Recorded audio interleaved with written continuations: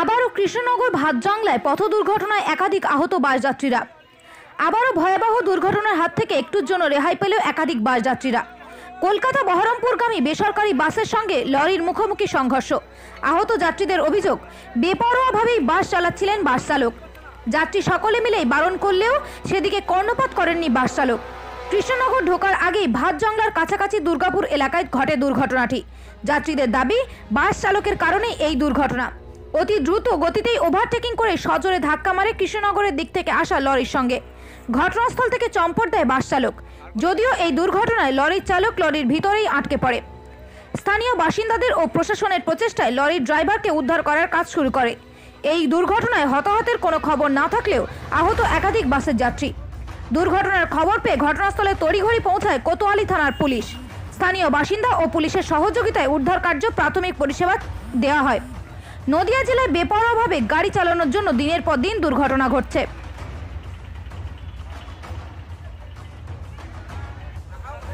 Bureau report, ICTV news Bangla.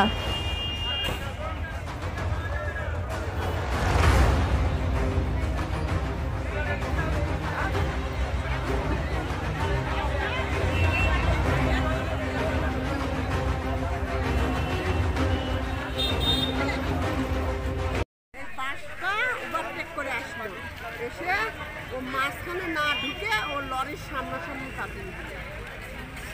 লরির সামনে ये गलती किसका है गलती इस बस वाले का ट्रक वाले का कोई गलती नहीं है बस फंस गया बस अ, ट्रक में अ, कौन कौन फंसा सब कोई बच गया है लेकिन ये बस वाले का हंड्रेड परसेंट गलती है हम शुरू से इसको गौर कर रहे हैं लेकिन ओवरटेक कर रहा है ये तब से हम बीच में इसलिए नहीं बोल रहे कि उनको कोई दिक्कत होगा एक्सीडेंट हो जाएगा इसलिए हम बीच में कुछ नहीं बोल रहे हम बाहर ही हैं इसलिए आपको बता दें बस इससे ज़्यादा कुछ नहीं बोल रहे। आपका नाम रवि है কিছুদিন আগেও তো বড় দুর্ঘটনা ঘটলো আবার এই দুর্ঘটনা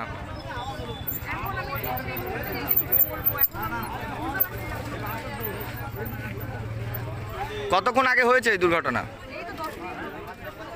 কিভাবে হলো আমি বাসের পেছনে বসেছিলাম। আমি বুঝতে পারিনি। আমি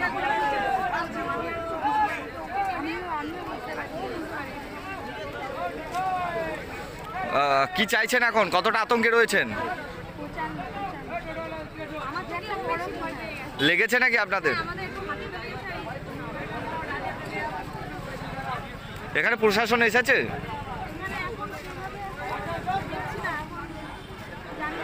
যাত্রীদের যে লাগল কতটা মানে দেখছেন স্থানীয় বাসিন্দারা?